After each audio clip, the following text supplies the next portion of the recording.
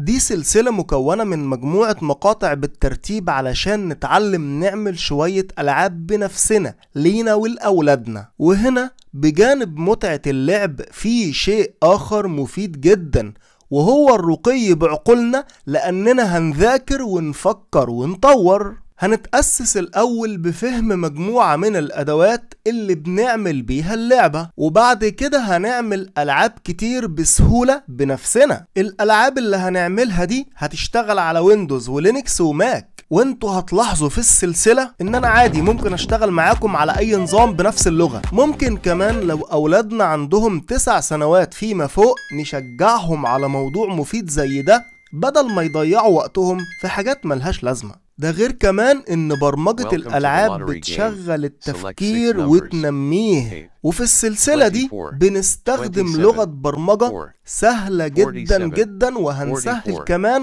أكتر في الشرح. بس في حاجة لازم ننتبه ليها كويس. لازم نذاكر بالترتيب. نذاكر بالترتيب. يعني أول درس في السلسلة بعد كده تاني درس في السلسلة بعد كده تالت درس في السلسلة وهكذا. وإلا فممكن نقابل بعض المشاكل. يعني مثلا ممكن أظبط ليك ملف في أول السلسلة ونفضل نشتغل بيه. لو أنت مثلا شفت الحلقة رقم خمسة وجيت تطبق وراها هتعمل ايرور لأنك ما شفتش ظبط الملف ده في الأول. فلازم نعرف إن تسلسل الشرح تسهيل لينا من الأساس. أما بالنسبة لبداية الشغل والتنزيل والتشغيل والمتابعة بالترتيب وقائمة التشغيل اللي بتضم السلسلة دي علشان نذاكر منها أي شيء هتحتاجه بخصوص كل الموضوعات دي هتلاقيه في الوصف.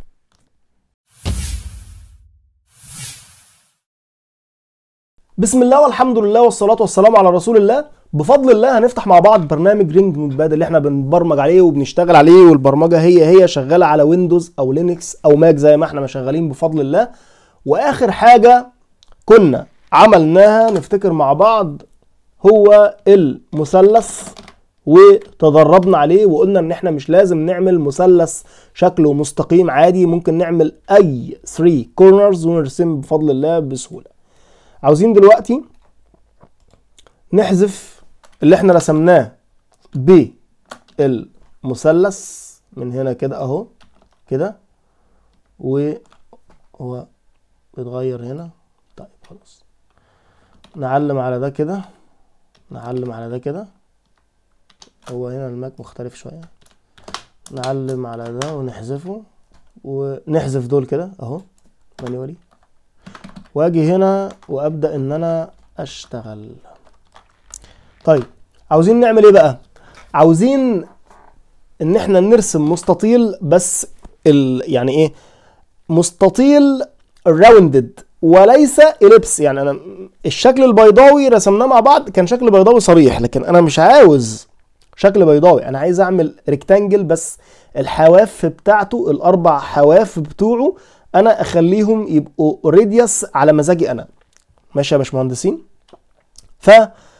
فهنعمل إيه؟ هنعمل إيه؟ بصوا سهل خالص. ال underscore draw underscore هنا بقى مش rectangle لا. rounded rounded underscore rectangle وادي القوسين بتوع الايه؟ بتوع الداله okay يا باشمهندسين؟ هنا المعطيات اللي هو محتاجها مني محتاج هنا الداله دي عايزة parameters عشان تشتغل. بفضل الله. فتعالوا نجرب مع بعض x و y الأول نخليها بعشرة من الشمال وبعشرة من فوق. okay؟ وبعد كده نديله عرض وطول. ف يعني هنا النقطة التانية هي اللي هتحدد العرض والطول. فاهمين أنا اقصد إيه؟ النقطة التانية يعني دي كده نقطة أولى. خلاص؟ طيب أما أنا هحدد العرض والطول إزاي؟ أنا مش هديله عرض وطول لأ مش هديله عرض وطول أنا هديله نقطة تانية علشان أتحدد العرض والطول. ماشي؟ عشان بس إيه؟ تفهموني صح بفضل الله. ماشي يا باشمهندسين؟ يبقى أنا هاجي هنا هقول له نقطة زي ما برسم ال rectangle بالظبط. شفتوا ال rectangle؟ هو زيه زي ال rectangle بس هزود عليه اتنين radius علشان يخلوا الأربع حواف راديوس بمزاجي. تعالوا نشوف مع بعض. أنا هنا هديله النقطة التانية على بعد من الشمال 200 ومن فوق 100 ماشي؟ بعد كده الاثنين اللي جايين دول بقى يخصوا الراديوس. يعني أنا في البداية كده هديله صفر وصفر. عارفين كده هيبقى إيه؟ هيبقى بالظبط مثلث. آه، اسمه إيه ده؟ هيبقى بالظبط مستطيل. هيبقى بالظبط مستطيل من غير تغيير مستطيل زي اللي رسمناه. دلوقتي هنديله. اللون ال underscore map underscore RGB ونديله مثلا لون 0 0 255 يبقى أزرق كده. ماشي؟ وال thickness نديله إيه 3 وادي save شغلوا كده يا باشمهندسين وبصوا معايا. شايفين المنظر؟ طبعا الحركة مش هتأثر لأن أنا مش رابطه بال x وال y بتاع ال object شايفين؟ مستطيل. زيه زي اللي رسمناه. لكن ده بقى لو غيرت القيمتين دول لأي قيمة تانية أقدر إن أنا بفضل الله أتحكم في ال radius على مزاجي. مش بيضاوي بقى لا على مزاجي. بقى بيضاوي أقل أكتر من لما أنا عايز ماشي؟ تعالوا نشوف مع بعض. لو أنا عملت ده comment. واخدته كله كده copy وهاجي هنا أنزل enter وأحطه paste كل اللي أنا هعمله إيه عن اللي فات؟ كل اللي أنا هعمله هخلي دي ب 10 ودي ب 10 okay؟ وهعمل save شغلوا كده يا باشمهندسين. بصوا بقى rounded خدتوا بالكم rounded بمزاج أنا. rounded بإيه؟ بمزاجي. يعني مش ellipse مش بيضاوي لأ. وهكذا. كل ما تزود ال radius أو يعني لو أنا جيت هنا وخليت ده إن هو يبقى comment وجيت هنا وعملت paste تاني بدل 10 10 خليها 20 20 هنا 20 وهنا إيه؟ 20 radius ال x و radius ال y يعني. save شغلوا كده يا باشمهندسين. إيه اللي حصل؟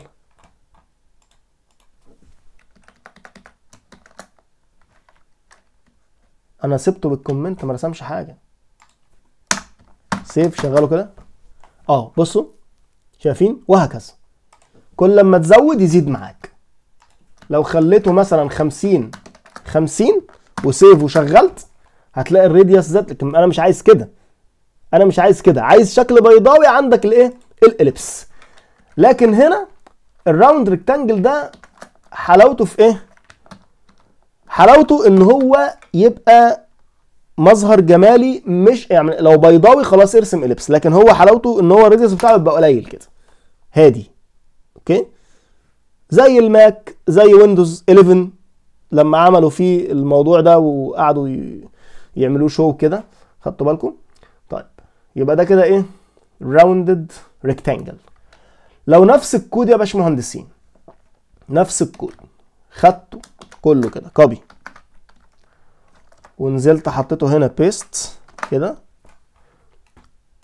عاوزين نعمل إيه بقى؟ fill يبقى أنا هعمل fill ماشي. خلي دي كده خلي دي كده. هعمل fill يبقى هشيل ال thickness السمك بتاعه. وهنا draw بعد draw هعمل underscore أعمل إيه؟ filled okay؟ خليه باللون الأصفر. كده؟ وكده سيف شغله كده يا باشمهندسين. أهو. اتعبى بالايه؟ بالاصفر. طبعا لو انت مثلا قللت النقطة دي خمسة وزودت النقطة دي خمسة وعملت سيف وشغلت هيبقى كده. دايرة. خدتوا بالكم؟ طيب. لو أنا عملت العكس يعني خليت دي زي ما هي خدتوا بالكم ان إحنا خلينا الاصفر يغطي على الازرق؟ طيب. اللي هو الازرق اللي هو رسم أصلا رسم مش فل ها؟ أنا رجعت ده تاني. لو أنا بقى أنا دلوقتي قللت من هنا وزودت من هنا فزاد حجمه. طب لو أنا عملت العكس يعني خليت دي ب 15 ودي ب 15 وخليت دي 195 وخليت دي 95 وعملت save وشغلت هتلاقوا العكس. هتلاقوا إن الأصفر هو اللي بقى جوه الإيه؟ هو اللي بقى جوه الأزرق. ماشي؟ طيب لو أنا عملت comment لكل ده كده ورحت عامل إزاي؟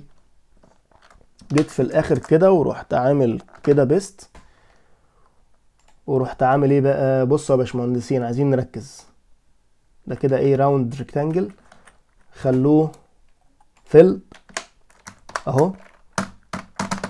ماشي؟ وشيلوا ال thickness ده بس هو اللي شغال ها؟ وهخلي هنا ال X بتاع العنصر وال Y بتاع الايه بتاع العنصر. هشغل كده أشوف إيه اللي هيحصل. شايفين؟ طيب. هنا دي النقطة الأولى ال X وال Y اللي أنا عملته ده بوظ ليه الشكل؟ لأن أنت أساسا كده خرجت من بره الشكل. طب عايزين نرجع الشكل تاني. كل اللي أنا عايزك تعمله اعمل control Z في الويندوز بس هنا في الماك command Z ماشي؟ وهتزود على كل واحدة منهم ال X ونجرب نشوف. يعني النقطة دي X زائد Y زائد والنقطة دي نقطة النهاية X زائد Y زائد. تمام؟ شغلوا بقى كده؟ طالع مظبوط. طب مشي؟ مشي معايا. خدتوا بالكم يا باشمهندسين؟ ليه بعمل لكم كده؟ علشان لما الشكل يبوظ تبقى عارف هو باظ منين وتقدر إن أنت بفضل الله توصل للمشكلة وتحلها. لازم تبقى أنت إيه فاهم القصة عشان تقدر تتحكم. ويا رب تكونوا استفدتم والسلام عليكم ورحمة الله وبركاته.